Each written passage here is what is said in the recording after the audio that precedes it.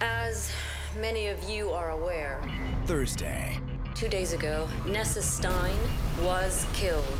on the thrilling series finale of The Honorable Woman. I believed in Nessa Stein. I believed in what she stood for. You're as much of a pawn in this as Nessa Stein. They've worked very hard to see her dead. And we're on. Speak to me, Atika. Where is he? The Honorable Woman series finale Thursday at 10 on Sundance TV.